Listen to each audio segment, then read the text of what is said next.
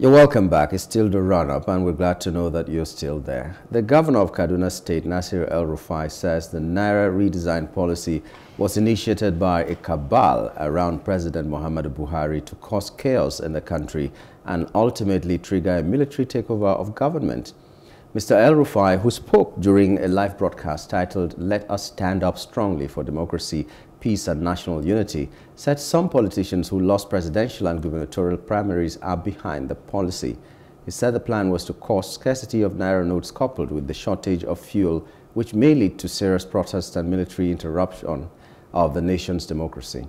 He added that those behind the new policy also hoped that the policy would compel the government to postpone elections, resulting in the enthronement of an interim government taking over.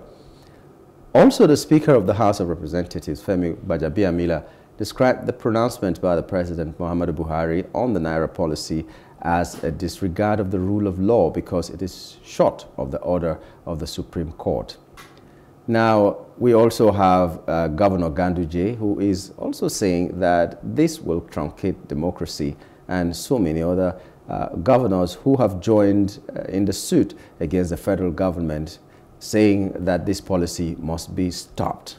Now, we're just looking at El Rufai's statements and the, the interest behind what the governors are doing. El Rufai said the policy was not conceived with the best of intentions and is aimed at stopping the All Progressives Congress presidential candidate Bola Tinubu from emerging president. Remember that Tinubu himself had said that this policy was targeted at him. Now, Tinubu uh, the governor of Kaduna State, Nasir Rufai, has asked residents of the state to continue to accept the old 500 naira and 1000 naira notes as legal tender. Uh, we hoped to be joined by a legal professional, but um, until that is done or until he is able to join us, we're still here in the house, just trying to ask ourselves what is really going on. now, a few days ago, uh, one of the spokespersons for the APC Presidential Campaign Council, Femi, Femi Fani Kayode, uh, made a statement that there's a plan, there's a coup d'etat that uh, is being planned by the opposition, blah, blah, blah. And he was invited by the DSS. And after the grilling of this man, he came out and said he regretted it. I kind of liked the fact that it happened that way. A man of that standing being invited, and finding his feet backwards and saying that he made a mistake. And I'm wondering why some other people are still getting away with it. Now, what I would have loved to ask the, the learned gentleman who uh, we are hoping will join us before the end of the show is what is the difference between the statement that was made by Fani Kayode and that of Nasir El-Rufai even though they say that what the president said was in contravention of what the Supreme Court had, um, I wouldn't want to say ruled, because even before the program, when we were talking with you, you said mm. there's been no the pronouncement. still being heard, yes. Yeah, but I think the Supreme Court essentially has asked that uh, the status quo be made. That is, they should keep using the old notes. Mm until the determination of the, of, of the case before it, which means the old notes will still be legal tender. Um, but you see, for me, um, there's huge suffering across the land. Mm. Tensions are high. Elections are close by. And so whatever anyone would say, especially public office holders or those who are prominent or have prominent positions, I think has to be very guarded. Mm -hmm. um, you asked what the difference was between what Femi Fani Kayode said and what Nasir El-Rufai has said. El-Rufai says there's a cabal. Mm. He didn't name anyone. Says there's a cabal around the president, and they have this ambition to cause chaos to the point where there will be, they will instigate uh, an unconstitutional mm. order, either an interim government or uh, an unconstitutional change, change of, of, of, of, uh, of, power. Now, he is saying, in my understanding, yeah. what he thinks is the intention of this so-called cabal. Whereas Femi Fani-Kayode categorically said, mentioned a particular day and said some people went and held meetings with mm. generals. Okay. You see, that's a very categorical statement. Okay. And, and uh, if you would say something like that publicly, you must be able to defend it. So I think this would be the two major, uh, the two major differences, you know, in what both personalities said. Um, but having said that, uh, yeah. okay. I think it's a very, very uh, volatile situation. Yeah. And whatever anyone is saying, uh, of course, people should be free to, to express their opinion. Okay. But I think there should be, it should be done with a high sense of responsibility. Okay. Well, we understand that uh, um, Barrister Okewoye Sarafa Omoyele has joined us. He's a barrister and solicitor of the Supreme Court of Nigeria. Good morning and welcome to the program, Barrister. Good morning, my your audio seems to be breaking. Uh, I don't know if you're using a, an earpiece or something. Good morning, my to be on the program. Okay. Thank you for joining us. Uh, I'm using happy. Okay. The earpiece. Okay. Now we're looking at the Naira redesign. The um, Supreme Court's pronouncement that status quo should be maintained the pronouncements by the uh, President Muhammadu Buhari, uh, you're kind of like meeting the Supreme Court and the CBN halfway or in the middle, and then what the uh, governors are saying, especially like Governor Nasir El Rufai, is saying about uh, continuing to use the um, old Naira notes and the plan by some people to scuttle the government and then install an interim government and all that. So before you joined us, I was just asking my colleague, what is really the difference between what Governor Nasir El Rufai has said and what Fani Kayode, for instance, also said that was labeled as treasonable maybe and made the DSS to invite him for, uh, for questioning. Now, what is the weight and implication of what Nasir El-Rufai said? Because to some people, it seems as if there's a parallel government now. The federal government or the president made a pronouncement, whether right or wrong, but he has also made his own pronouncements, whether right or wrong. Tell us what uh, the implications of these are. Well, thank you very much. To start with, the Supreme Court ruling, which says that status quo ante should be maintained, still subsists. And the President of the Republic of Nigeria does not have that power to vary or try to uh, uh, what you call uh, a middle course. The ruling was very, very clear that $200 notes, $500 notes, $1,000 notes should remain legal in Nigeria. So what the president said yesterday, to my mind, is simply contempt of the Supreme Court ruling. I come to your question of comment of Governor Herufai and Chief Fani Kayode. It's just like when we are saying six and half a dozen, it means the same thing. what I'm telling Nigerians, of course, is that what is happening currently is not an ABC affair it's not the decision of APC governments, but rather decision of presidency, which is different from APC. The governors that went to court to challenge that CBN decision are APC members. Let me say this. Cashless policy is a policy of the party and the government and we agree with the terms and of the policy. But our issue is the timing and method being used in the implementation. to us, the timing is wrong. And the duration is equally not sufficient.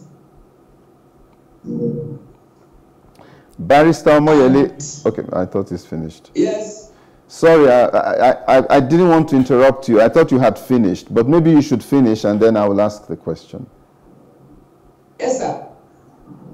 Finally, what the government is doing or DSS is doing by inviting Chief Alikayode for interview, they are only chasing the shadow. The signs are very clear. Nigerians are not happy with what they are experiencing currently. What Nigerians are experiencing, I better imagine it. Let me use myself as a case study. I have money in the in the bank. I could not access it.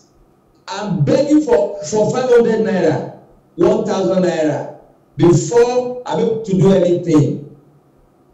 What we are saying in the nutshell is that the timing is wrong. Thank you. Okay, Barrister Moyele, um, some people suggest that uh, by not joining the central bank uh, to this case that was filed, that was probably not right. But you're a legal person, so you were able to enlighten us on that. What would be your reaction? Well, that, is true. Central bank as well as governor are necessary parties. No doubt about that. But what is there is this. The governors that went to court deliberately left out CBN and CBN governor because of the time of their action. If CBN governor and CBN is are joint, then the matter could be heard at the federal high court. But they want it to be matter between federal government and state governments, which only Supreme Court has original jurisdiction to hear. I must forget the fact that CBN Act gives presidents the power to regulate, to direct, to supervise activities of CBN and CBN governor.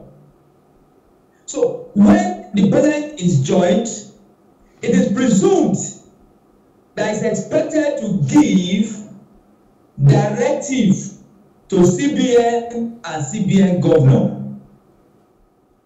And president said yesterday that the matter is already in court and there will be subsidies for him to tap into it. But Peter was going old and cold, I mean, hot and cold at the same time. The, the matter is in court. It is just subsidies. I already say that twenty naira notes, odd notes, would be uh, a, legal tender for, for sixty days. Hundred thousand notes will no longer be legal tender. It's time to vary the ruling of Supreme Court. So to my mind, yes, CBN and CBN governor ought to have been joined as necessary parties. Do you want to ask? But that president is there as a party. He is supposed to ask the CBN governor and CBN to stay action until the order is vacated by the Supreme Court. That's my opinion ask a major question. This is a, question for a yes or no answer if it's possible. Uh, are you now telling us that at the end of the day, CBN is not independent? Because if they can be dictated to any time by the executive, I don't see any independence in it. Well, there is checks and balances in governance. There is no arm of government that is totally independent. CBN is a creation of the arts and it has its own arts regulating its activities but they are to be reporting to the president as the chief executive of the Federal Executive Council. So, because it's the appointing authority, the law that set up CBN gives him the rights to give directive to the CBN governor. That's the act.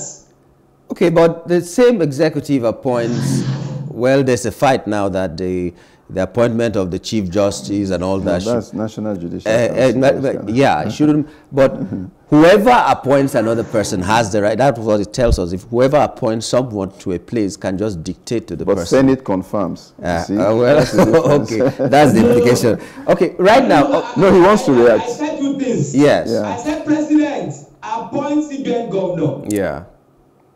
But that CBN has an act that stipulates its mode of operation. Mm-hmm. Mm, okay. One of it, of course, is that for certain decisions, particularly currency redesigning, CBN must inform the president and president must give a go ahead because of its impact in, in so many things that makes up a nation. Okay, uh, well, there's an issue you raised that I really wanted to ask you about. Um, so many reasons that you said people are against this policy right now. One of them is the timing. Yes. One of them is the timing. What's really the issue about the timing? Yes. Because if people are going to suffer with a bad policy, they will suffer at any time. What is the main thing about this timing that is so wrong? Sorry, let, me correct one impression. The policy is not bad. It's a very good policy. If the policy starts fully, Nigeria and Nigerians will be the better for it. You must, must first take that. Cashless policy will address a lot of uh, security breaches, a lot of criminalities. Now, but about timing is this. December period is always a period that everybody spends a lot of money. Christmas celebration, traveling, and what have you. Then January is a period that most parents pay their children school fees. We spent in December for festive period. We are entering January, we are paying school fees and other uh, expenses. Now, which means there will naturally be scarce resources, which means people just be struggling to make up for what they have spent in December in January. Workers must have collected their salary for December, and January will not come earlier than first week in February. So December, January is always a tough time for everybody in this country economically, but we're just recovering, we're just settling down. If you now bring a policy that will take that will take money out of circulation this period in time, when naturally we normally struggle to make money in January, then it will compound our problem. That's why people are thinking that the timing is wrong. Number one. Number two, the time is short. We should be given at least six months. And that's the provision of the CBN Act. That you want to redesign Naira, it should be within six months. You and I know that December 5, 2022 was when the new Naira note was launched. Between December 5 and January 15 or thereabouts, the new notes were as scarce as anything you can think of, which means from December 5, we want to be having the new Naira note in abundance, but reverse is the case. As I speak, the new Naira note are still scarce. If you want to take away old notes, you must ensure that you have enough new notes and it will augment. If you listen to that analysis, the number of new notes printed fall short of the required new notes that's supposed to be printed. A lot of people are saying it's a deliberate policy by some elements to cause and security breach in the nation. In that good intention, you know, money is it determines a lot of things in this country, and that we are not used to cashless policy for now. You must provide enough money. Take for instance, if I get to POS or I get to my bank, I'm able to get 20,000 naira per day. Maybe the complaint will not be as much as this. I get to bank, I get my 10,000 naira, you get your own. There won't be complaint as much as this. But we couldn't access our money. 2,000, 1,000. Some people stayed by the ATM for eight hours. They were only paid 2,000. And that is why people felt it's deliberate. Some saboteurs are involved. That's why we are saying if you give us enough time, with time, everything will evolve and we will adjust to the new reality. Okay, Barrister. I submit. Thank you, very Barrister. Uh, before you go, um, just just one last question. When when when the politicians suggest that it's just a group of people who are trying to create chaos, yet it's the president who has made a public broadcast, who has provided an extension to at least one commonly used currency, which is the 200 naira to remain for 60 days. Is there still a merit in the argument that it's just a cabal? Well, well, to my mind, what president also not addressed at all. Because our president cannot stay in that rock and be varying the order of the highest court of the land. The order is very simple. Old notes should remain a legal tender until the one decided by the highest court in the land. What that's very important to do is to give CBN governor directive until otherwise directed.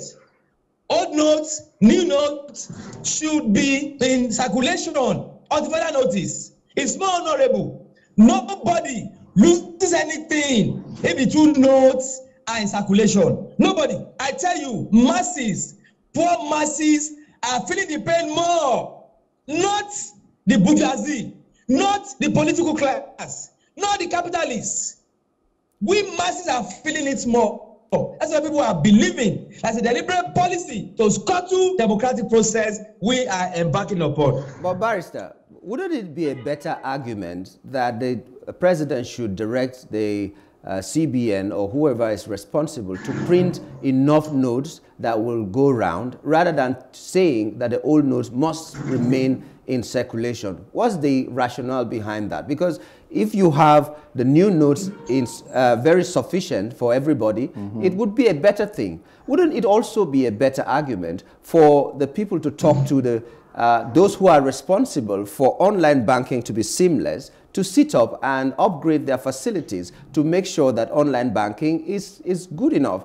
Because all the transactions, major transactions, a lot of people I know have made, paying school fees and all that, was done online. But the only problem is that it took too much time. Mm -hmm. Wouldn't that be, those kind of arguments be better than saying old notes must be in circulation? Now, even if we are crying, people are also suspect that maybe these old notes, especially in the denominations that can be hoarded somewhere, that is 500 and 1,000 naira notes, they are suspect that, okay, maybe it really has been hoarded somewhere. And the president said something about national security and all that, and you have confirmed it as well, that it's going to be a good thing and it's already showing some signs. So why wouldn't we be arguing about something that would be a better uh, talking point rather than saying all notes must continue? Now, let me clear this. Online, online banking is elitist in nature. We must get that one right. It's elitist. We are just, we, we are just trying to introduce it to our people now with this cashless policy. Uh, one governor in the north, Kano state governors told us that out of their own, I mean, local government in Kano state, maybe about 13 or so local governments have banks other local government about thirty or so are not having banks are not having pos now what we are saying here of course is this. The policy is good. But that issue you raised about president directing the CBN to print more new notes, yes, but we must know one thing: it's a process that will not be done overnight, that will not be done in a day, that will not be done in a week. Now, what, what now happens in one, two weeks and it not to be printed? That's why people are saying that we have old notes that are life value that do not need anything. Just push the old notes out to circulation. Not all, few ones. Okay. So okay. as to ameliorate the suffering of our people. Okay. All right. Uh, well, barrister, barrister would would like to thank you for would like to thank you for coming on the show. We, we wish that we had more time. Yeah, but um, we're thank still you. going to engage you because I know that whether the policy is reversed today or not, there are still going to be issues that will come up. And we hope that you'll oblige us anytime that we call you. Okay, thank you. Okay, thank, thank you very you. much for me. Uh, that was uh, Barrister Okewoye uh, Omoyele. I hope I got that right. Omoyele. Omoyele. okay. Uh, he was talking to us about the uh, Naira redesign and all the, uh, will I call it power play uh, around it and all that. And, well, he has given insight from his own perspective, and I do, I do hope that you learn something from there. But we don't have much time right now. We need to take a, a short break for the news. Uh, when we return, we are going to deal with other issues concerning this same topic that we've been talking about. Stay with us.